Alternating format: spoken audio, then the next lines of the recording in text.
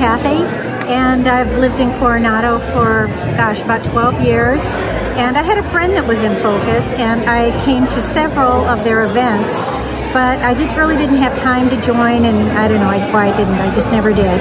But I always liked the, the mission statement that they had, and I love the fact that uh, it was all about children and that um, there wasn't big administrative cost. It was just all volunteer. And so it drew me to it, and I thought, this is my year. I have time, and and uh, I wanted to meet new people, and I thought, this is this is a fun group.